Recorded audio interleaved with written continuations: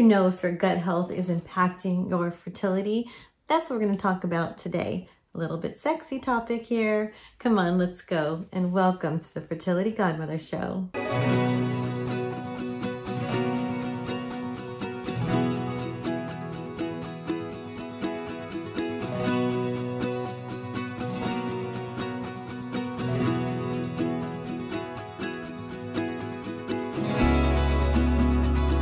Hi, welcome to the Fertility Godmother Show. I'm so excited to be here with you today. I'm Denise Noyer Erez. I'm your host, and today we're going to talk about what your body tells you if your body is digesting or if you're having issues digesting. Now, most likely you are getting these signs and symptoms because when you eat your food, you should feel energized, you should feel alive and good, not like you need to go take a nap. You don't want to feel bloated, you don't want to feel tired, and those are some signs that your digestive system is working slowly. So there's a couple things you can do to help with that. One is taking some deep breaths before you actually eat your meal, and the other is making sure you're chewing at least 40 times before you swallow, especially when you're eating some proteins. So when you do that, it's going to allow your digestive system to be able to work at its best, to be able to break break down the food because it needs to break down, transport, and then it needs to remove. So the other thing you wanna take a look at is, are you eliminating properly? Are you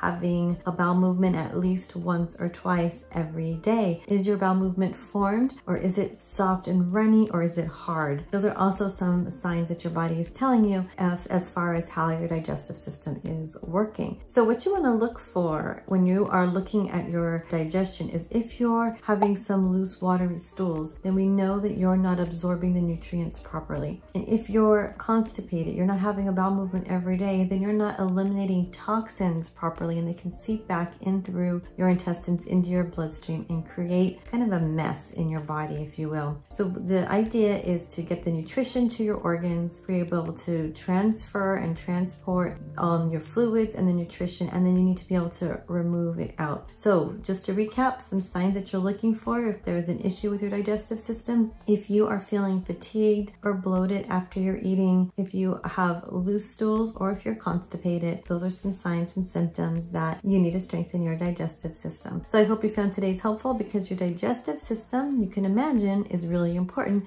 to help your reproductive health sending you tons of love and joy today if you need more help. Be sure to click the link and set up a free 20 minute consultation if you have more questions about that. And in the meantime, give me a thumbs up if you like this video and you found it helpful. And until next time, I'm Denise Noyer Erez. I'm your fertility godmother, wishing you a healthy, happy pregnancy.